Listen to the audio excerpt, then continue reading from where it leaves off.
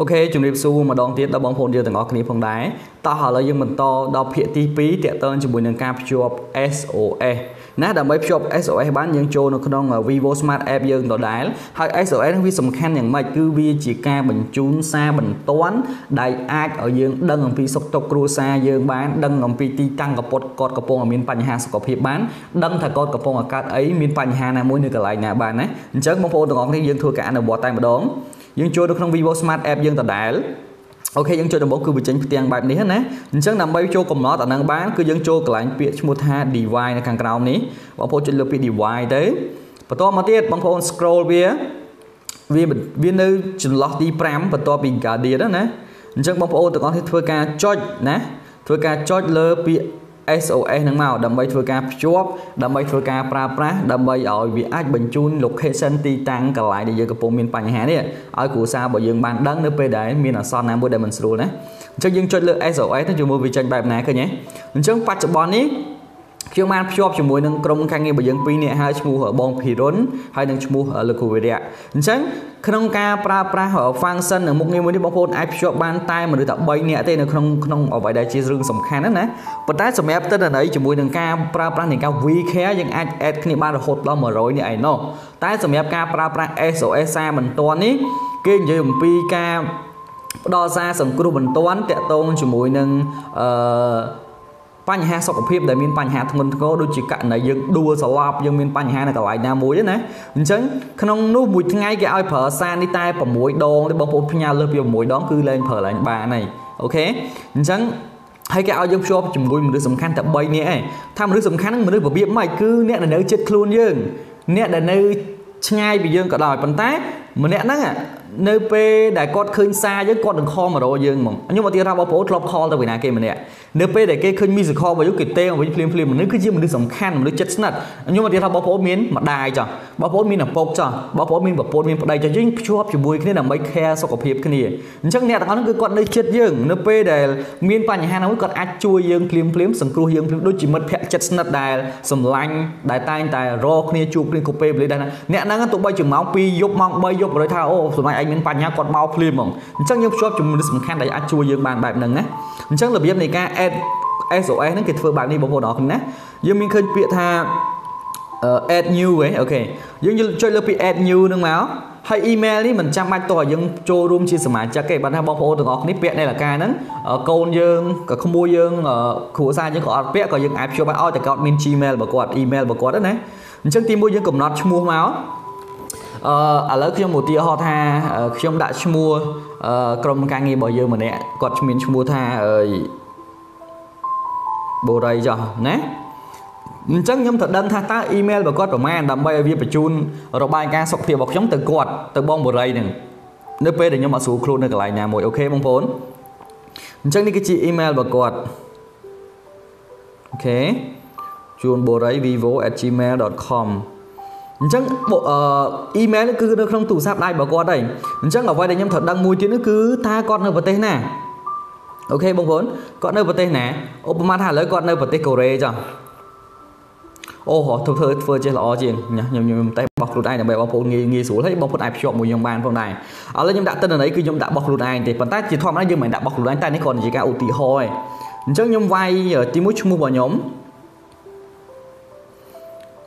អញ្ចឹងបងប្អូនអាចយកអាហ្នឹងដើម្បីភ្ជាប់ SOS មួយខ្ញុំបានបើសិនជាអត់មានណាគេដែលត្រូវដាក់មួយណាអាចដាក់អាចដាក់តេស្តដើម្បីពេលតែខ្លះចង់ចង់ដូរចង់ដាក់ទៅនៃរបស់អ្នកផ្សេងយើងចូលកែបន្តិចទៅអញ្ចឹងនេះគឺជា email របស់ខ្ញុំបងប្អូនទៅដាក់ឈ្មោះ email ណា @gmail okay.com ហើយមួយទៀតគឺយើងអាចធ្វើការរើស ទោះបីជាខ្ញុំនៅប្រទេសណាតំបន់ណាខេត្តណាក៏ដោយក៏ខ្ញុំអាចដាក់បានដែរជនជាតិអីក៏ដោយឲ្យតែយើងចង់ដាក់ខ្លះកូនអ្នកខ្លះគាត់មានឪពុកម្ដាយនៅក្រៅប្រទេសអ្នកខ្លះគាត់មានឪពុកម្ដាយនៅក្រៅប្រទេសដូចជានៅអាមេរិកដូចជានៅអូស្ត្រាលីកាណាដាឬក៏កូននៅកូរ៉េមើលឪពុកម្ដាយនៅស្រុកខ្មែរបងប្អូនអាចដាក់បានដូចគ្នាណាអញ្ចឹងយើងចុចលើពាក្យ phone សិនបើសិនជាគេនៅប្រទេសណាបងប្អូនរើសប្រទេសហ្នឹងមកនេះឃើញទេវាមានបច្ចុប្បន្ននេះ Vivo ដំណើរការបានរហូតដល់120ប្រទេសហើយអញ្ចឹងបងប្អូនទាំងអស់គ្នាខ្ញុំជឿថាប្រទេសដែលធំធំគឺសិតតែអាចភ្ជាប់ប្រើប្រាស់ជាមួយនឹង Vivo បានណានេះមកនៅ Cambodia ខ្ញុំជួយលើ Cambodia មកព្រោះខ្ញុំនៅកម្ពុជាលេខទូរស័ព្ទរបស់ខ្ញុំប្រហែលបងប្អូន098នេះឃើញវា load មកហ៎អូខេសូមសូម098 97 28 91អញ្ចឹង ខ្ញុំភ្ជាប់វាហើយយើងភ្ជាប់តែប៉ុណ្្នឹងឯងនៅពេលដែលសារវាបញ្ជូននោះវាបញ្ជូនទៅតាមណាខ្លះបងទី1វាអាចបញ្ជូនចូលក្នុង Gmail របស់គាត់ដៃគូរបស់យើងនឹងពេលដែលវាយើងអាចបញ្ជូនសារមិនតាន់បានទី2វាបញ្ជូនទៅតាមលេខទូរស័ព្ទដូចគ្នាវាដាក់ម៉ោងដាក់ location ដាក់ទីតាំងទៅហ្មងហើយទី3វា alert នៅក្នុង app បញ្ចេញ SOS មានឈ្មោះពីណាគេមកមិនតែម្ដងអញ្ចឹងឥឡូវខ្ញុំចុច add new ដើម្បី save វាពេលនេះគឺយើងអាចប្រតិបត្តិការប្រើវាបានព្រោះនេះលការវិញយើងមិនចាំបាច់តទៅវា alert ក៏បានដែរបងប្អូនតើឃើញ success ហ៎អឺ បងប្អូនគ្រាន់តែគ្រាន់តែចុចកន្លែងសញ្ញាបិទគ្រឿងរបស់យើងវាមានពាក្យ shutdown SOS និង cancel អញ្ចឹងបើបងប្អូនចង់តេស្តឬក៏ចង់បញ្ជូនសារដែលយើងមិនទាន់មានបញ្ហាសុខភាពឬក៏យើងចង់បញ្ជូនវានោះបងប្អូនភ្ជាប់បែបនេះហើយដូចជាខ្ញុំភ្ជាប់បែបនេះហើយអញ្ចឹងខ្ញុំគ្រាន់តែចុចលើនាឡិការបស់ខ្ញុំចុចលើពាក្យ SOS ហ្នឹងទៅខ្ញុំ send ទៅវាថា request បញ្ជូនទៅរួចរាល់ទៅអញ្ចឹង email ទាំង3នេះនឹងទទួលបានសាររបស់ខ្ញុំ អូខេអ៊ីមែលទាំង3នឹងបញ្ជូនសារមកខ្ញុំទៅឥឡូវខ្ញុំសាកតេស្តសារលបងដែលខ្ញុំយកនៅលការបស់ខ្ញុំចុចខ្ញុំបើកឲ្យបងប្អូនមើលនៅក្នុង Gmail បន្តិចអញ្ចឹងអឺអ្វីដែលជាចំណុចសំខាន់នោះគឺយើងអាច share គ្នាហើយអាចបាញ់ location ចំនឹងទីតាំងដែលគ្រួសារយើងឬក៏មនុស្សជាទីឆ្លាញ់យើងកំពុងនៅណាអញ្ចឹងយើងអាចរកគ្នាឥឡូវខ្ញុំសាកតេស្តខ្ញុំចុចលើពាក្យការ send SOS អញ្ចឹងខ្ញុំទៅបើក Gmail របស់ខ្ញុំផ្ទាល់ឥឡូវខ្ញុំសូមធ្វើការថយត្រឡប់ទៅវិញ ហើយខ្ញុំធ្វើសូមធ្វើការ clear នេះចោលសិនខ្ញុំចូលកន្លែងពាក្យថា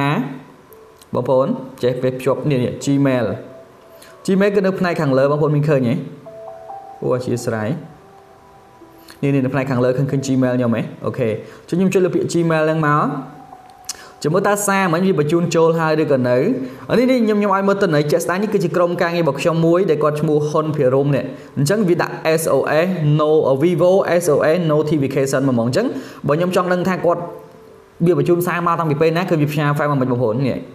វាដាក់ថាទី1 Gmail របស់គាត់អូខេណា Gmail របស់គាត់វាប្រាប់ថា may have fallen down បើថាវាបានចាប់សញ្ញាថាគាត់ដូចជាមានអារម្មណ៍ថាគាត់ដូចជាដួលអញ្ចឹងហើយវាប្រាប់តាក់ទងជាមួយនឹងទី1ថ្ងៃទី24ខែ10អូខេឆ្នាំ2020នៅម៉ោង9 20នាទីចុច48វិនាទីហើយវាផ្ញើ Google Map មកហ្មង Google Map ហ្នឹងឥឡូវគាត់គាត់គាត់មិនមែននៅកម្ពុជាគាត់នៅប្រទេសកូរ៉េខ្ញុំសាក់តេស្តឲ្យបងប្អូនមើលបន្តិច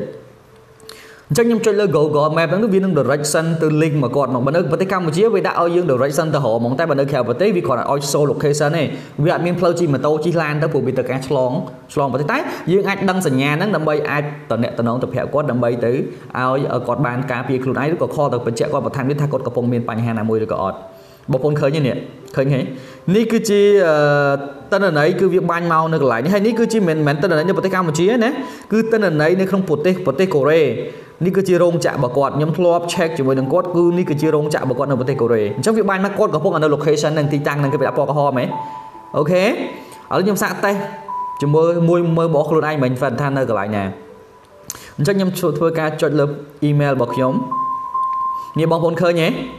ឃើញផ្ញើសារមកនេះម៉ោង9:52ឥឡូវនេះម៉ោង9:53មែនអត់អញ្ចឹងខ្ញុំចុចលើ SOS ហ្នឹងអញ្ចឹងជាមួយវាផ្ញើសារមកមិនព្រោះមិញខ្ញុំបញ្ជូនសារទៅនេះគេបានប្រាប់ថានៅថ្ងៃទី24ខែ10ឆ្នាំ2020ម៉ោង9:51.53វិនាទីខ្ញុំមករានេះបានធ្វើការបញ្ជូនសារហ្នឹងនេះឈ្មោះមករាធីអូខេអញ្ចឹងនេះគឺ Google Google Map link អញ្ចឹងថាតើខ្ញុំកំពុងតែបាញ់ location តើវាដាក់ location ចំកន្លែងខ្ញុំកំពុងអង្គុយនឹងអត់ ពួកខ្ញុំកំពុងនៅនឹងហើយខ្ញុំបាញ់ location នឹងទៀតហើយបើសិនជាបងប្អូនមានដៃគូនៅណានៅនៅទួលតំពូងនៅកោះពេជ្រនៅវត្តភ្នំនៅស្ទឹងមានជ័យគឺវាបាញ់ចំនឹងតែម្ដងបងប្អូនណានេះបងប្អូនមើលឃើញតិនដៃរបស់ខ្ញុំហ្នឹងឃើញទេនេះគឺជាផ្សារតាពាំងថ្លឹងOK ផ្សារត្រពាំងថ្លឹងនៅខាងនេះហើយនេះគឺជាបូរីហុងឡាយហើយនេះគឺជាផ្ទះដែលខ្ញុំកំពុងនៅ Office Vivo របស់យើងគឺនៅក្នុងបូរីហុងឡាយបងប្អូនមើល location តិចមើលនេះនេះគឺជាផ្លូវវេងស្រេង OK នេះគឺផ្សារត្រពាំងថ្លឹងនេះនេះផ្សារត្រពាំងថ្លឹងនៅទីនេះ OK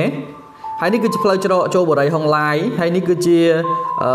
office ការងាររបស់យើងអញ្ចឹងខ្ញុំកំពុងនៅក្នុងបូរីនេះOK បងប្អូនឃើញទេអញ្ចឹងបានថាវាដាក់ថាអាពណ៌ខៀវក៏នៅនឹងពណ៌ក្រហមក៏នៅនឹងបានថាកំពុងនៅទីតាំងមួយគ្នាអញ្ចឹងបើខ្ញុំចង់ដឹងថា OK ដៃគូរបស់ខ្ញុំម្ខាងទៀតនិយាយខ្ញុំចង់ទៅរកគាត់ខ្ញុំគ្រាន់ចុចលើពាក្យ start នេះទៅ